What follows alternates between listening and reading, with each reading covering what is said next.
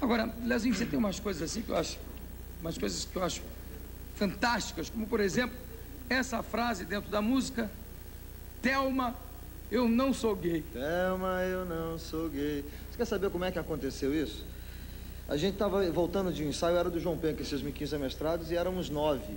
E acho que os nove estavam dentro de um Fusca, que era aquele negócio, vamos voltar do ensaio.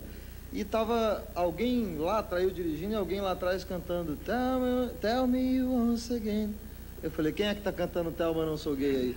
E naquela hora pegou, porque a sonoridade Tell me once again... Com eu sabia que era de sonoridade de alguma coisa em inglês, mas não, não, é. não sacava o que era. E aí a gente falou, vamos fazer essa música para dar pro Agnaldo Timóteo cantar e tal, que ia ficar um negócio legal, né? Aí ninguém teve coragem de mostrar para ele, assim, porque ficou com que luta karatê e tudo. Ele não gostava, né? Aí a gente deu pro Ney Mato Grosso, que ele era mais amigo. Né? E o Ney fez um grande sucesso com a música. Lembra um pouco da letra, vai. Canta um pedacinho. Opa! Oh! Olha aí! Com o maior respeito aí. Oi, Guida! Deixa... Olha assim.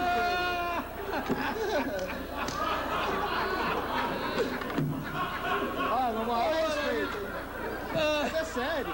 E já tá...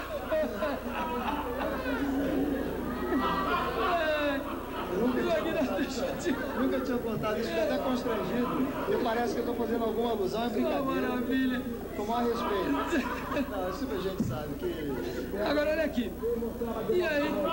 Cadê meu brinquinho, cadê meu café e meu salto alto?